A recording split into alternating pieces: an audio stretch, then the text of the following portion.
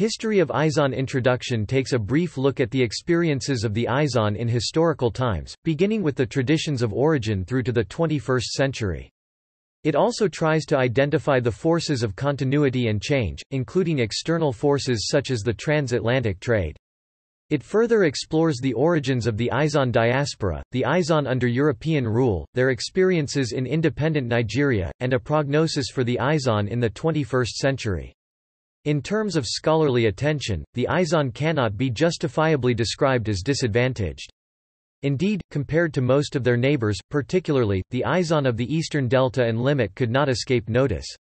Due to their early contact with the Europeans, and their own active involvement in maintaining close commercial, political and social intercourse with them, the Izon have had many aspects of their history and culture documented. IJO history has attracted the attention of many scholars of great repute, including Talbot, Dike, Jones, Horton, Ickham, Williamson, Ahituwu and Derefaka. However, in matters of Izon origins, migrations, settlement, and culture, the contributions of Professor Alagoa remain dominant, because of their quantity, analytical rigor and general acceptability. It is for this reason that we have felt free to tap deeply into his time-tested conclusions on Izon history and culture in this chapter. The Izon have made virtually the entire Nigerian coastline their home, while their area of greatest concentration remains the Niger Delta. Bayelsa State or the Central Niger Delta is the base region, but many Izon subgroups have their communities in the littoral parts of Ondo, Edo, Delta, Rivers and Akwa Ibom states. Izon classified into five main groups, namely, a the Izon of the Western Delta Fringe, composed of the Apoi, Arogbo, Furupagha, Olodiama, Gbaramatu or Oporoza, Egbema and Ogba. They are found in the present Ondo, Edo and Delta states. b. The Izon of the Western Delta, composed of the Obati, Mein, Seimbiri, Tuomo, Tarakiri, Kabowei, Kumbowei, Operemo, Oyakiri or Beni, Ogulagha, Iduwini and Co of Delta State. c. The Izon of the Central Delta, composed of the Apoi, Bassan, Olodiama, Oporoma, Ogboin, Tungbo, Kolokuma, Opokuma, Gbarain, Okordia Akita, Biseni, Oruma Tugbin, Ekpetiama, Tarakiri, Bumo, Akassa Akaha, and Nembe Brass of Bayelsa State. D. The Izon of the Eastern Delta, composed of the Kalabari New Calabar, Okrika Wakirike, Abani Bani in River States. E. The Izon of the Eastern Delta Fringe, composed of the Nkoro Kala Kirika, Defaka and Abani Opobo in Rivers State. Although the Izon are the dominant indigenous ethnic nationality along the Nigerian coastline, they are clearly not the sole occupants of this sub-region. They share the area with other ethnic groups.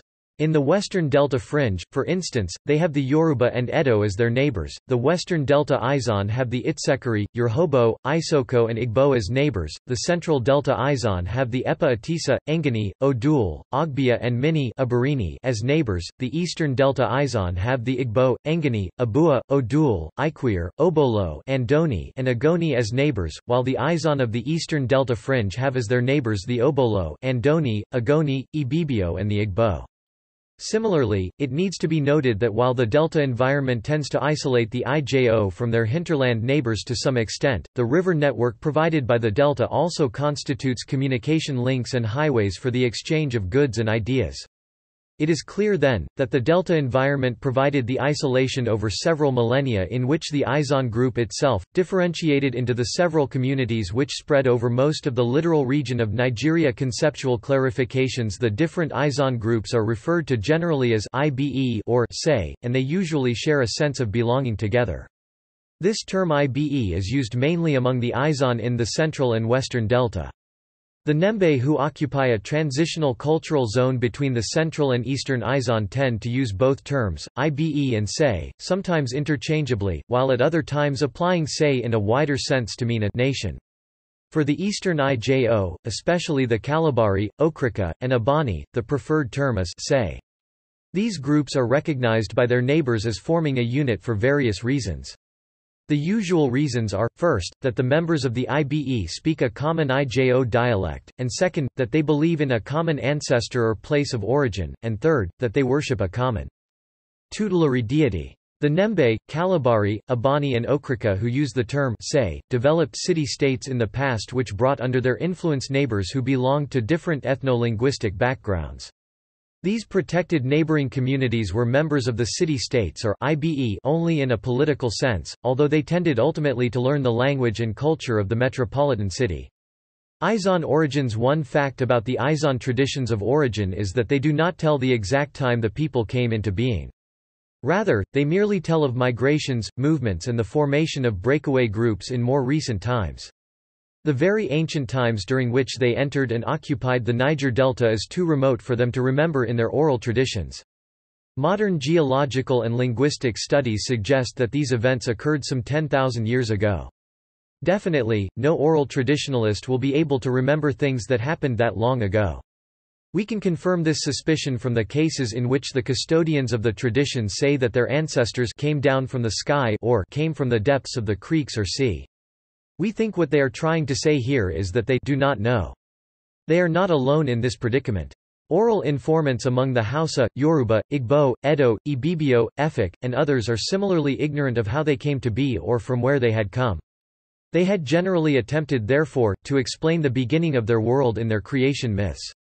Historians, both local and foreign, have tried to explain the origin of the Izon people. We will try to understand some of these theories first, and see how much of them may be taken as historical. We will then consider the traditions of the various groups themselves, to identify the migrations and interrelations between them across the length and breadth of the Niger Delta in early times. Theories of Izon origin While there exists a high degree of consensus on the pioneering role of the Izon in the occupation of the Niger Delta, scholars do not readily agree on the roots of the Izon. At present, there are three schools of thought on Izon origins. The first school of thought, upheld mainly by those who had come under some Judeo-Christian influences holds that the ancestors of the Izon peoples migrated from Palestine. This argument is based on the similarity between the name Izon of Nigeria's Niger Delta and one of the ancient cities of Palestine known as Izon. Members of this school attempt to show the similarities in the cultural practices of the Izon and the Jews, such as male circumcision, ritual laws and abstinence from sex during menstruation, which are similar to the Levitical rituals listed in the Mosaic Law. This school, though popular mainly amongst cultural nationalists, is difficult to prove.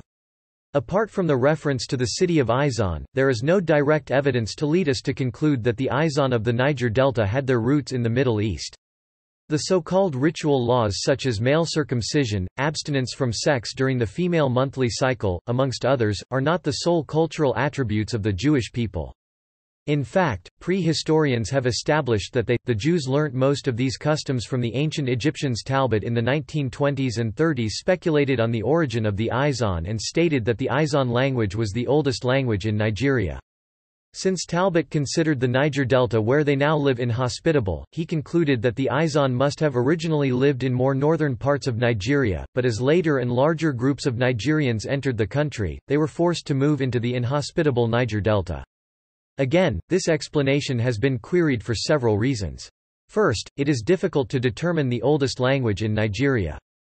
Therefore, his conclusion, that the Izon language and the Ijo people are the oldest Nigerian group, is open to question.